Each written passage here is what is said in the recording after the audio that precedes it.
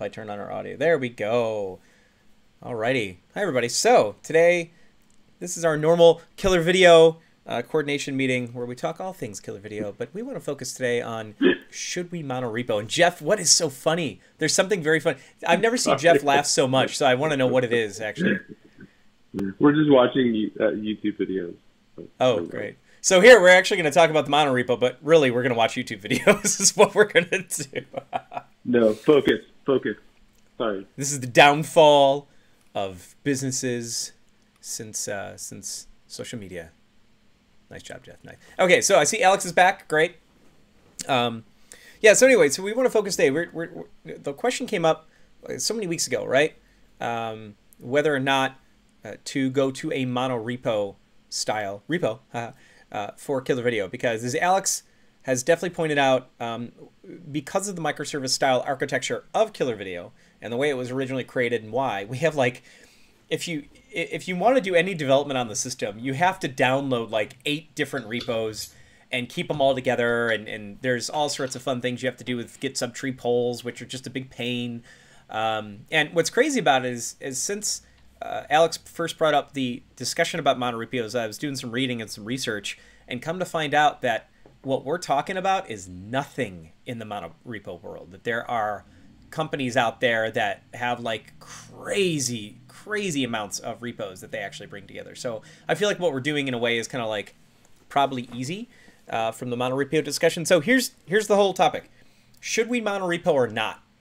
Um, so Alex, since you kind of brought this up, and I know that you have uh, biased opinions, why don't you give us your biased opinion? Well, guilty, Your Majesty. yeah. So, guys. Uh, before uh, giving you my opinion, I want to highlight uh, why I'm talking about it in general and why I consider myself experienced enough in this field to talk about that. So uh, I work with um, service-oriented architecture and microservices for last three projects besides of KillrVideo. So that's like, I don't know, more than five or six years of experience. And I can say what in all my uh, previous experiences, um, it never was monolithic. And um, every time monorepo would be better for us, considering all benefits and downsides. In the result, uh, on my former project, I've organized a partial transition uh, to monorepo uh, and it really really helped us a lot. That was a very interesting uh, example I would uh, explain in a few minutes. Uh, what I can say in our situation um, from my point of view with my, with my experience in distributed applications I can say monorepo will work much better that doesn't mean what we have to switch. For any purposes, we could decide to stay in uh, multi-repo and it will be fine for us as uh, we have to admit development of KillrVideo doesn't go so active. But for active big commands with uh, multiple of deployments and commits daily, it definitely gives huge benefit. Uh, yeah, that's my position one thing I have to add here. Uh, I never was asked for it, but uh, I have to add it because that's not obvious for those who has no experience with monorepos. Monorepos doesn't mean what you always have one single repo for everything. That's not perfectly correct. Um, as I did on my uh, former job, I've used um, mirroring of repos when the main monorepo was partially mirrored into the um, special dedicated repository. I can't uh, share a code as it is uh, with non-disclosure agreement, uh, but I have very good example in open source world. Uh, there is I will be able maybe to share my screen to explain it a bit better. Yeah, go for it. Just a second. Be careful what you share, Alex. Be careful. Hope you. Yeah, that should be fine. The whole world sees everything. So, github.com Symfony. Who of you knows Symfony? I don't do PHP. Wait, wait. There's something that Okay. Cedric doesn't do. Oh man, I don't know. Yeah, yeah, that's a big Wow. surprise, you see. Yeah, seriously. So, uh, Symfony Yeah, is, uh, from my point of view, the best uh, PHP framework. I even did some of mine contributions there. Doesn't matter. So, and they are using monorepo. And they are very, very, very separated into components, and different components or bundles should be absolutely standalone and reusable into every uh, another project you would like to use. So I don't know. Let's say let's say HTTP kernel, like uh, possible base for any HTTP driven application. That's a component which lives and be developed as a part of a Symfony monorepo. But for our uh, purposes, for the purposes of those who uses Symfony, uh, they have to be able to clone it and work uh, with it, um, not working with a whole monorepo. It makes no sense if you want to work with one single component. So in this case, all of these components are extracted to a separated uh, to a separate repositories. Yep. So hey, Alex, a quick question for you. I see. Yep. I'm glad you showed what you just showed, right? Because it's good to see that they're actually in their individual repositories. But f- right here, how do I know something is a repository compared to just another directory? Um, Like, if you wouldn't have told me that those were individual, like, and maybe I'm misunderstanding, but like, Mm-hmm. use kernel, right? As an example. Uh, did I see it there somewhere or HTTP? Which one was it? I, I thought you were suggesting that when you looked at the individual modules here, that these were repos within the mono repo. Did I get that right, or am I totally Mhm. misunderstanding? yeah, yeah. So, how would I know when I'm here? How would I know that these are repos that have essentially been merged into a mono repo? They just look like directories to me, or folders. I man, I'm sorry, I can't say I understand the question. I, am I just asking a Um, weird question, guys, or does anyone get what I'm trying to say? No, I understand what you're trying to say. It's, it's kind of the the. I'm trying to think how to rephrase this. So, your mono repo isn't just a collection of folders for each of the individual projects themselves, right? Right. It's Mhm. it's a lot more complex than that. I think your question was, how does that actually work? No, I'm I'm I'm saying looking at this interface here, right? Um, is okay. Let me let me step back for a second. So, Alex, what you're showing us, I see Symfony component. Is component its own repo within Symfony? Like you showed us a set of. Maybe I'm just getting confused of what I'm seeing. Uh, so this repo uh, is the main repo and the mono repo for everything what relates to Symfony. Right. So you have here bridges, bundles, components, and so on. Okay. Now, okay, so right here to this point, in my if let's say I just had a regular Git project, right? And within that Git mm-hmm. project, I could very easily just have multiple directories that house files and such. So, at what point from the as I understand the mono repo and like when I did reading, right, it is kind of like the opposite of what we do, where we have multiple repos right now, and if I want to pull those down, I have to pull like to do development, I have to I have to git clone each individual repo, do work on them, so on and so forth. Where in the mono repo Yeah. standpoint, right, I can just I can go to a single repo and I get the whole set of what I want to work on. So with that, if I were to go into any one of these projects like KillrVideo Java or whatever, I'm going to have directories that are underneath there that are represented in my Git in my in my Git repository. When you're showing a Symfony, those just look like directories to me. So I'm having a hard time bringing together the mono repo part. How do I know that I'm not just looking at a Git repo with directories as compared to a monorepo that has multiple repositories? Uh, yeah. Uh, okay. Monorepo is very often is just a set of folders. Oh. And that's completely fine. Yeah. Okay. Uh, so uh, uh, that's the point. Uh, when you want to, uh, you see, if you want to put some uh, minor atomic changes into one single mm, application, like let's say into Node.js, uh, when there is no principal difference if you work with monorepo or um, multi-repo.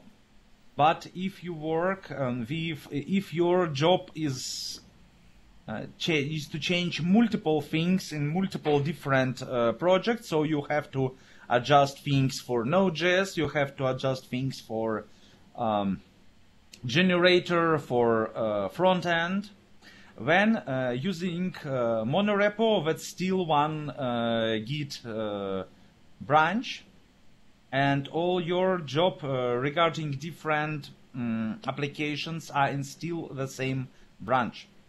If you work with multiple repositories, when you have to check out a few different applications, then make few different clones, and your changes between them are often inconsistent. So if we were to go the monorepo route, is it simply, and maybe I was just overthinking what you were showing, um, is it simply someone goes through the process of taking all the individual repos that are responsible for the overarching KillrVideo ecosystem and essentially pulling those down and putting them into a single directory structure and then checking that one thing in as here is KillrVideo. And so what you've essentially done is like coalesced all of the individual repos into a single repo with they're just the different projects are in directories. Is that it? Mostly that's it. Uh, Okay. If you have uh, one single repository and you make um, some changes uh, into your branch and make a pull request, when you have the place where you see centralized in one single place all your changes. And that's good because Okay. that's easier to run tests against that, for example. yeah If you have few different applications, few different branches, and few different pull requests, there is no single point um, to control it. And um, in this case, guys, a single point is good. I know we at uh, DataStax and by working with Cassandra, we're usually trying to remove single point of failure. In this case, I'm talking about single point of control, and we need Yeah. to to have it. Yeah, one thing um, I, I think, I guess a plus for the monorepo, right, is like today when doing development, let's take KillrVideo Docker Common or KillrVideo Data or something like that, right? Um, uh, in those cases, if we make well, the nice thing today is if you make a change to one of those, uh, if you're working in KillrVideo Java, C Sharp, or Node.js, or soon to be Python, right? Then you know that you have that centralized piece there, but you still have to go to each individual one, redo your Git subtree pull, right, to to sync up with the the latest from those. It today, I'm saying today, that you have to do that. It sounds like in the monorepo case that you would make the one change and everyone would have it because they're all in the single repo. Mm, yep. Okay. Um, a couple of comments on Twitch. So Adrian Hall says, you know, some of the issues uh, would be a monorepo conflates what is valid in a project related specifically to the language or language stack, bridging concerns together that often don't need or ought not to be maintained together from a separation of concerns or division of labor type of perspective. Um, so I think Adrian, correct me if I'm wrong. Um, oh yeah, uh, actually, I'll just read his second comment because he's following up. Um, which for this project probably would make things easier, but it doesn't make the example easier to understand for someone reviewing it. Just offering some counterpoints um, with the um, what do you call it? Winky smiley face. Winky smiley face. That's what that is.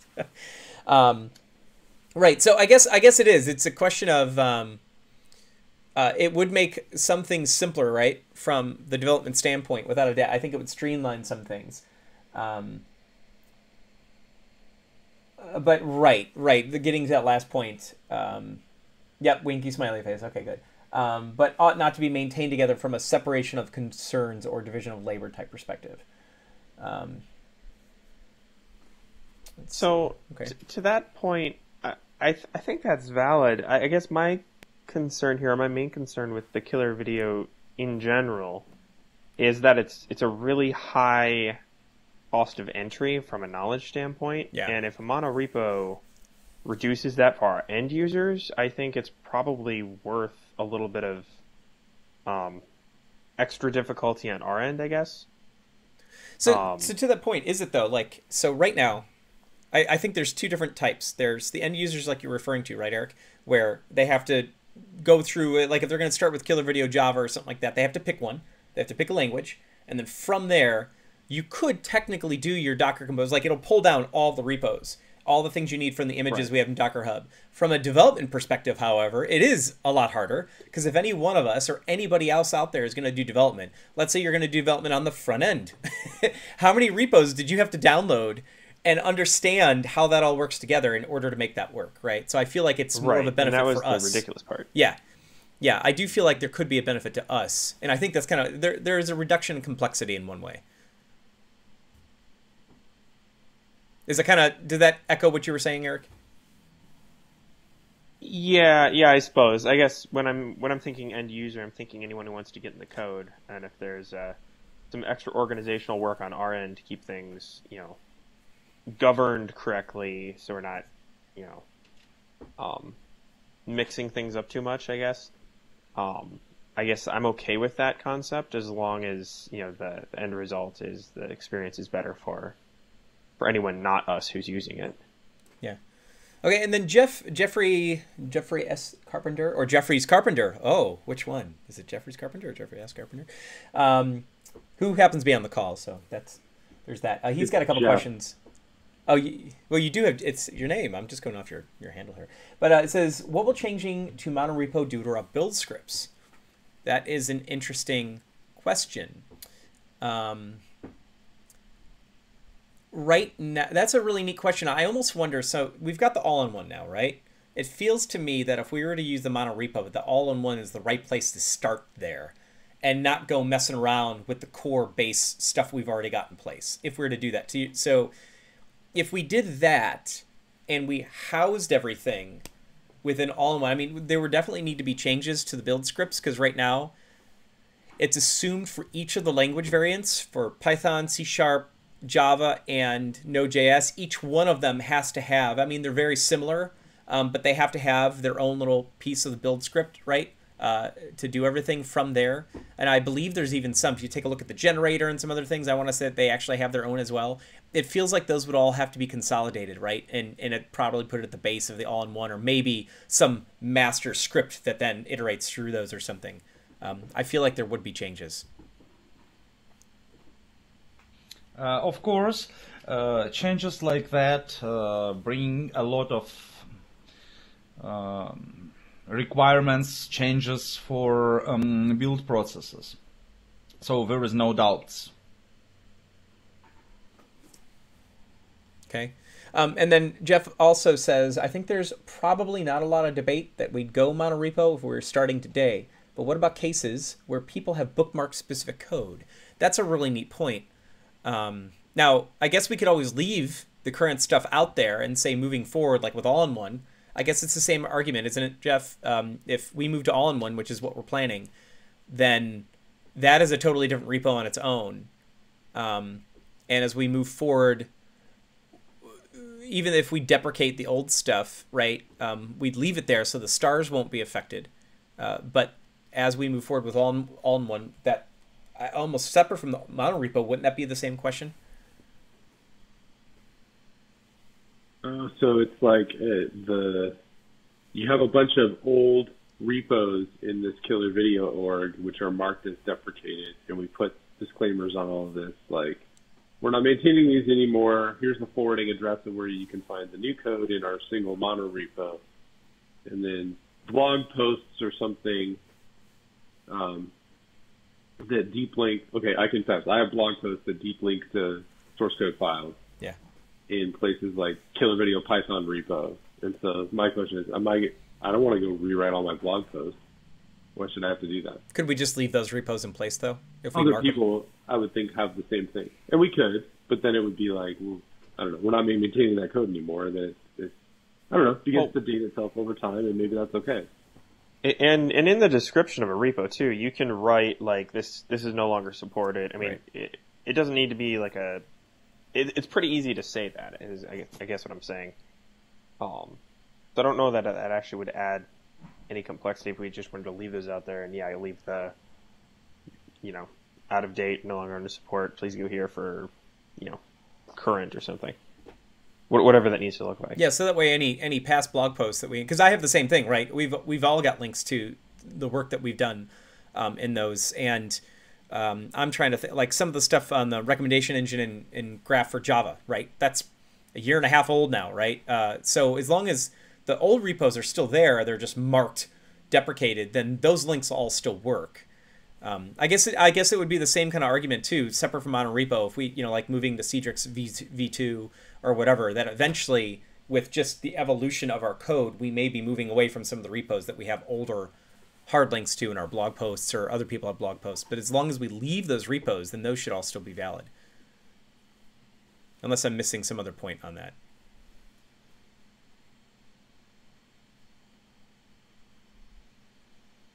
All right, the next one I see. I also I know this is a vanity metric, but what about all of our GitHub stars? Yeah, yeah, I don't know on that one. Like, yeah, I guess uh, is it the same? Is it the same exact argument though? Like, if we move to a new code base or, or something like that, anytime we move away from their current repos, I think all these questions are valid for all of those. I I think to some extent that's kind of the cost of of innovation. Is yeah, it is a vanity metric. It's nice, but So, so Adrian happened to say, uh, responding to Jeff's vanity metric question about the GitHub stars, uh, Adrian said, "True." Uh, at Jeffrey's Carpenter, uh, I'll stop doing that. We'd get way more focused GitHub activity then. Uh, would they? I th- I wouldn't think they would if we move into a monorepo. If we move into a monorepo, would we want to leave the old repos out there? Seems they would add confusion. Um, so there's a couple things in there. Uh, I don't have a good. Hmm. So, so Adrian, are you saying that if we move to a monorepo, we'd get more focused GitHub activity, but then the counter would be the potential confusion with having all the old repos compared to the monorepo? Is that what you're getting at? Um, I believe uh, better activity he means what uh, activity is centralized. So we got not one star for Node.js, one star for uh, Java, and one star for web, but all of them go to the same repo. So we have three stars in single repo. I believe that was I the see. point. Okay, and yeah, he did respond with yes, and then he followed up with, "I think we would want to delete the old repo." So I guess let's pretend for a second we did that, right? Um, that we went to a monorepo, we we did all this, we get the increased focus GitHub activity, uh, but then if we delete the old repos, to Jeff's point, uh, what do we do then with all those old blog post links? I mean, and and not only that, for people who may have linked to our own code. Um, I know that I've actually talked to multiple developers in the past, people who have actually used that stuff. We've pointed them there in a ton of content. I would, I would feel iffy about deleting that stuff right off the bat unless we left it around for some time and then deleted it over time or something. Like, do you have a thought on that, um, Adrian, as far as the links? Right, right. Jeff, Je- Jeffrey Carpenter saying then my blog is broken. Exactly. So so yeah, I'm I'm curious to know if anyone has a thought on what we would do if we if we deleted the old repos. Um, is that even really a possibility in the short term? Because I think we'd break a lot of stuff.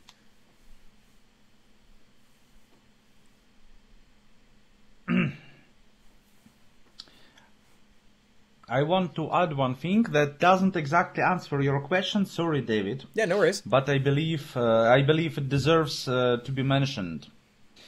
Um, as soon as I got into KillrVideo application, I mean in general as an operational application, my first effort was to get rid of registrator and etcd.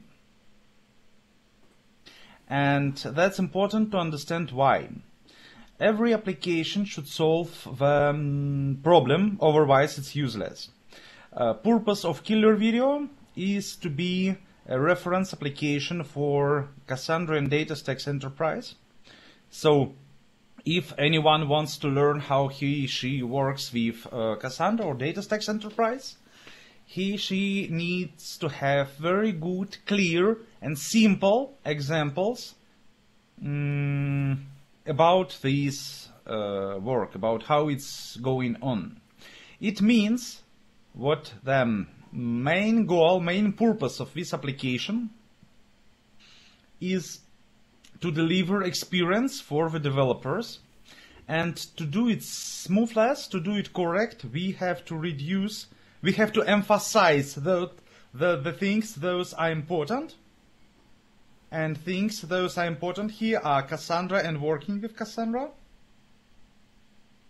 And to reduce as much as possible all the things that doesn't directly relate to it or mm, doesn't is not essential for this uh, purpose. So uh, etcd and registrator was an overcomplication. Uh, what was distracting people the, from the main purpose. That's, that was one of the main reasons for me to get rid of them. Loopback interface, you know what I mean. Uh, etcd uh, service registry. Yeah, that was the thing to keep it simple, stupid to keep in focus what's really important. So, if we would be a real developers of a real KillrVideo application trying really to um, take over uh, YouTube or whatever and uh, conquer the market, then I would definitely say with all my um,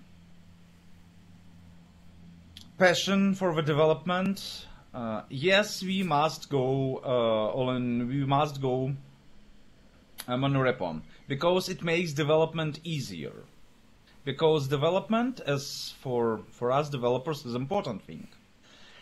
As long as we don't develop it so much actively as a usual application, as long as we follow the main thing to show the guys how do you work the um, Cassandra and DataStax Enterprise in different environments, then it probably makes sense to keep it like it is.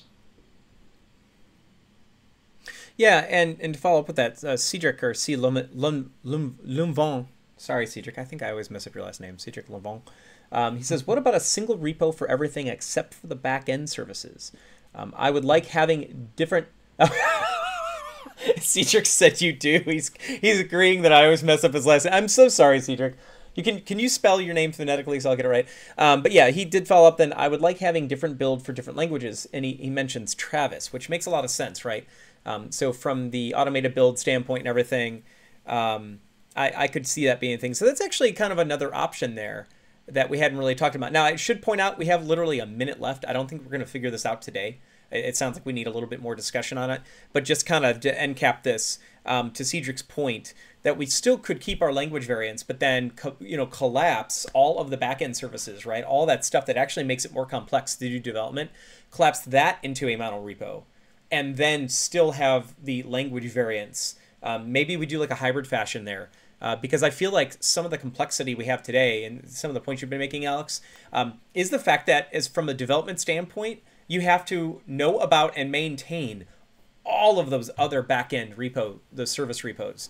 Um, and collapsing that into a single one might actually greatly simplify it. And it might be a neat way that we can bridge some of the points that Jeff's been making about like deep links and such um, with with code and, and that kind of deal, and at the same time kind of simplify the process. So uh, we do have to close out though, though, because it is 12:30. So it sounds like we'll need a, a follow up on this. Uh, anyone have any final things they want to say before we we drop off? Uh, yes, one final thing. Uh, in this case, there is uh, following the um, phrase from uh, Cedric. There is no real need to um, have different builds for different languages. Usually that's really easy to calculate on a Git level if your exact uh, backend Python um, project has been changed and then run again, run build process against this Python backend project. So that's uh, not a big deal to distinct which build project should be executed uh, following the commits into the repo. That's the easiest part, I would say. Okay. All right. Anyone else? I see. Uh... All right. I see a couple tail end comments from from the team. Adrian says, "I like the build for specific languages idea." Uh, per Cedric. And yes, it is time. It is time for us to drop. So we'll end it there for now. Thank you guys. Um, well, I'll set up another follow-on discussion, and uh, we can grok on this stuff for a little bit, and hopefully we come to a, a solution next time. All right, guys. See you. Thank you.